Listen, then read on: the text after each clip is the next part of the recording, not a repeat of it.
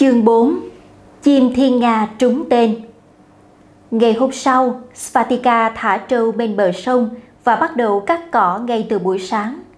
Đến trưa nó đã cắt cỏ xong và nhét đầy cứng hai cái giỏ.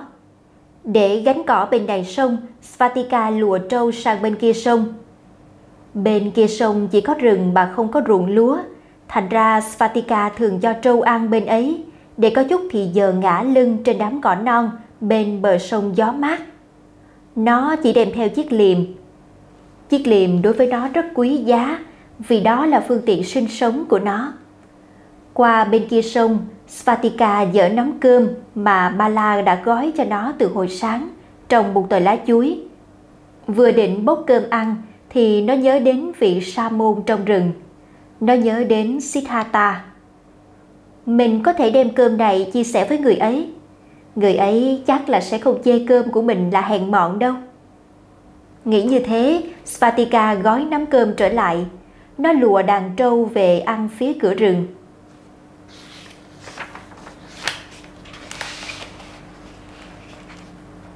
Rồi nó theo lối cũ tìm về chốn gặp gỡ chiều qua. Từ xa, nó đã thấy dáng của Siddhartha ngồi dưới gốc cây đại thọ Pipala nhưng Siddhartha không ngồi một mình. Trước mặt Siddhartha còn có một người khác.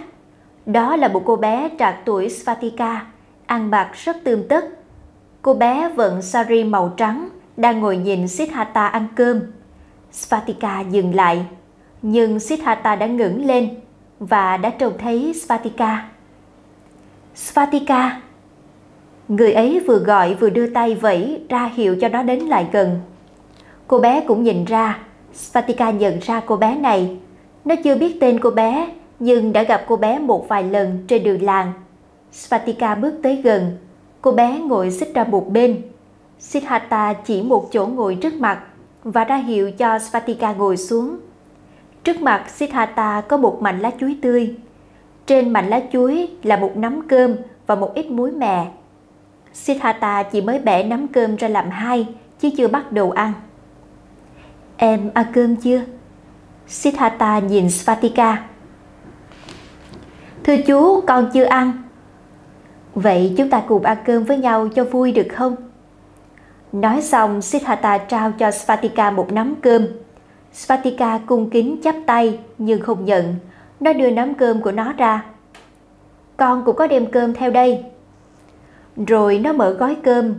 Cơm của Svatika là cơm gạo đỏ, không trắng trẻo như cơm của Siddhartha. Với lại nó không có muối mè. Nó chỉ có vài hạt muối trắng. Siddhartha mỉm cười nhìn hai đứa trẻ. Vậy chúng ta gom lại và cùng ăn chung được không? Nói xong, Siddhartha lấy một nửa nắm cơm hẩm của Svatika và ăn ngon lành. Svatika hơi bỡ ngỡ, nhưng thấy Siddhartha ăn cơm rất tự nhiên. Nó cũng đưa cơm lên ăn.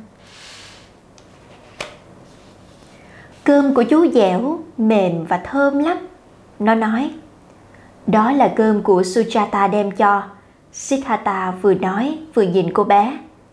À, thì ra cô bé này tên Sujata. Svatika nhìn kỹ lại.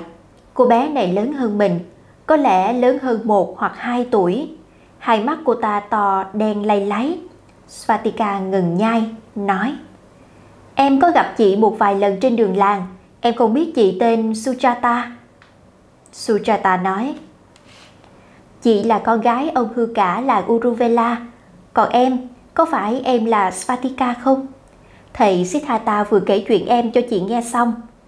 Này Svatika, em đừng kêu thầy Siddhartha là chú nữa. Thầy là sa môn mà, mình kêu thầy bằng thầy thì đúng hơn. Dạ. Siddhartha ngừng nhai, nhìn hai đứa trẻ mỉm cười. Như vậy là ta khỏi giới thiệu hai con với nhau. Này các con, thầy thường ăn cơm trong im lặng. Những hạt cơm và những hạt mè mà các con đem đến quý giá vô cùng. Ta muốn ăn cơm trong im lặng để thấy được giá trị của những hạt ấy. Sujata, chắc con ít có dịp được ăn cơm gạo đỏ. Có thể là con đã ăn cơm rồi, nhưng con nên ăn một miếng cơm gạo đỏ của Svatika đem đến. Ngon lắm đó con. Bây giờ chúng ta nên im lặng mà ăn. Xong bữa cơm, thầy sẽ nói chuyện cho hai con nghe. Siddhartha bẻ một miếng cơm từ nắm cơm của Svatika và trao cho Sujata. Cô bé chắp tay thành búp sen, kính cẩn nhận lấy. Ba người lặng lẽ ngồi ăn cơm trong cảnh rừng trưa u tịch. Sau khi cơm và muối mè đã hết, Sujata thu lượm các mảnh lá chuối lại. Cô lấy bình nước trong để bên cạnh, rót vào một cái bát bằng đá duy nhất mà cô đem theo và dâng lên. Siddhartha tiếp nhận bát nước và trịnh trọng đưa mời Svatika. Svatika vội nói.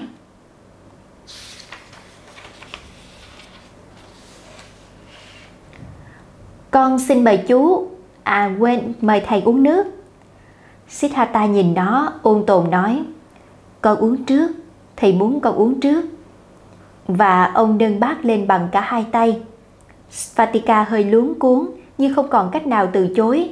Nó chắp tay lại, đón lấy bát nước và đưa lên uống một mạch cạn chén, rồi trao bát lại cho Siddhartha, cũng bằng hai tay. Siddhartha chìa bát ra để Sujata rót bát thứ hai. Khi bát nước đã đầy, ông nâng lên với dáng điệu cung kính và thông thả uống từng ngụm nhỏ. Uống xong bát nước, Siddhartha lại chìa bát ra để Sujata rót cho bát thứ ba. Bát này, Siddhartha đưa lên mời Sujata. Sujata đặt bình nước xuống trước mặt. Cô chấp hai tay và giận lấy bát nước.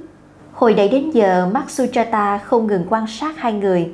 Bây giờ, cô mới nâng bát nước lên và uống từng ngụm nhỏ, giống như Siddhartha vừa uống. Sujata ý thức rằng đây là lần đầu tiên cô uống nước từ một cái bát mà một người thuộc hạng ngoại cấp uống. Siddhartha là thầy mình. Ông đã uống thì tại sao mình lại không uống? Tuy nhiên, cô bé không hề có cảm tưởng là mình bị ô nhiễm. Bất giác cô đưa tay trái của cô ra và sờ vào đầu tóc của cậu bé chăn trâu ngồi bên cạnh. Cử chỉ rất bất ngờ khiến cho Svatika không tránh kịp. Sujata đã chạm được vào đầu Svatika, tay phải vẫn còn nâng bát nước. Sujata thu tay trái lại.